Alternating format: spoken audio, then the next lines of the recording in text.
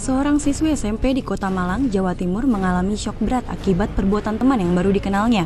Pasalnya, ia menjadi korban pemerkosaan oleh lima pemuda. Pemerkosaan yang dilakukan Siva dan kawan-kawan tersebut dilakukan di rumah salah seorang pelaku yang berada di kawasan Jalan Joyogran, Malang. Menurut Kasat Reskrim Polresta Malang, AKP Haryanto Rantesalu, korban mengenal pelaku yaitu Anwar Habibi baru seminggu sebelum kejadian. Setelah saling kenal, keduanya semakin dekat dan Anwar pun mengajak korban jalan-jalan. Selanjutnya, Anwar dan temannya yaitu Yeri menjemput korban dengan berbonceng tiga menggunakan motor. Mereka lalu menuju rumah Siva di kawasan Joyogran dan di rumah tersebut Siva, Rudi, dan Wisnu telah menunggu kedatangan Anwar, Yeri beserta korban. Sebelum diperkosa, para pelaku menenggak miras secara bergiliran dan membujuk korban untuk menelan 5 butir double L.